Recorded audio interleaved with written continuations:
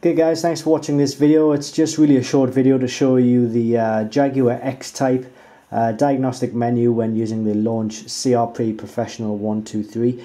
Uh, we do get a lot of requests from customers um, basically wanting to know which diagnostic tools will actually cover certain systems on their X-Type. Uh, the main systems being the engine, the ABS, the uh, the restraints airbag system and the uh, transmission control system.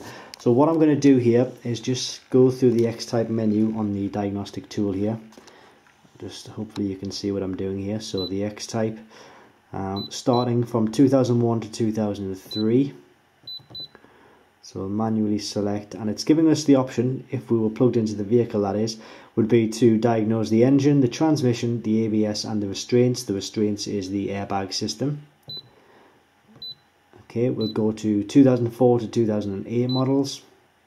Now it's asking us to select our specific engine module but I'm just going to select any one here. As you can see we've got engine transmission this vehicle obviously has two different types of uh, ABS systems, so just uh, select them the, the correct one, and then we've got the restraints, the airbag again there, and then we'll just go and check one of the diesel engines. There we go. Uh, this time it's covering the engine, ABS, and restraints, the airbag system.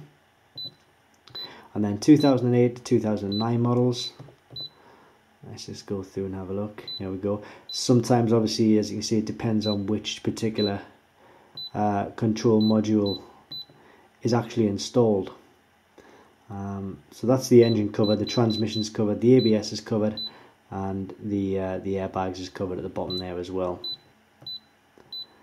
And once again just check a different model Engines covered, transmissions covered, ABS is covered, restraints is covered. You, you don't necessarily need to know which particular um, module is in your vehicle. Uh, the way you'll find out quickly is but just by basically if you select that one and you can't get a connection, uh, the chances are you're going to be able to check uh, try the other one and you will get a connection. Uh, so that is up to the 2009 model. So that's the Jaguar X-Type. As you can see, it does cover a lot of other Jaguars as well. But uh, the main thing is that it will cover the main systems which people need to gain access to to diagnose their cars, and it is the uh, ABS system, the airbag system, the transmission system, and the engine system. So if you are interested in the CRP123, just click the link directly below this video, and you will find it on our website. Thanks very much for watching.